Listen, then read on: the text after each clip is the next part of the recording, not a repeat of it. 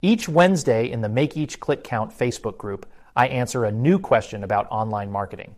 If you have a different marketing question, please send an email to info at makeeachclickcount.com, and I'll be happy to answer either via email or within the Make Each Click Count Facebook group. This week's question was this What are the common pitfalls I need to avoid selling my products on Amazon? Look, if you are selling on Amazon, then you need to advertise as it is really becoming pay to play.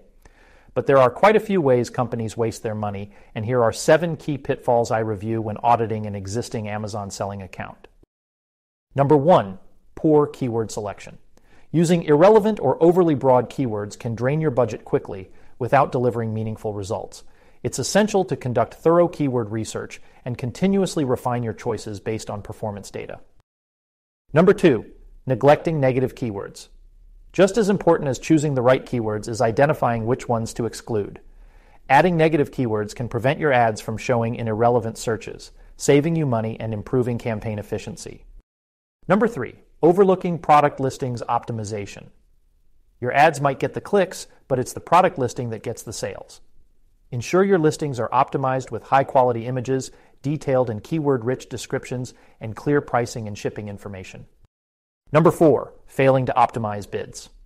Amazon's advertising platform requires active bid management to compete effectively. Automated tools can help, but manual adjustments based on deep data analysis often yield the best results. Number five, not utilizing all available ad formats.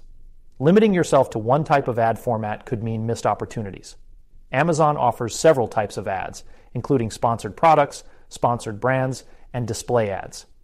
Using a mix can enhance your visibility and reach across different customer touchpoints. Number six, inadequate performance monitoring. Regularly reviewing campaign performance against your goals is crucial. This involves not just looking at sales, but also analyzing metrics like click through rates, conversion rates, and ad spending efficiency. And maybe most important, you need to be continually learning and testing. The landscape of Amazon advertising is ever evolving. Staying updated with Amazon's changes, testing new strategies, and learning from past campaign data is essential to remain successful selling on Amazon. By avoiding these common pitfalls, you can significantly improve the effectiveness of your Amazon advertising efforts and achieve better returns on your ad spend. I hope this answered your questions on what to consider when selling your products on Amazon. If you have any questions on online marketing, you can reach out through the Make Each Click Count Facebook group or schedule a free strategy session at trueonlinepresence.com. Until next time, happy marketing.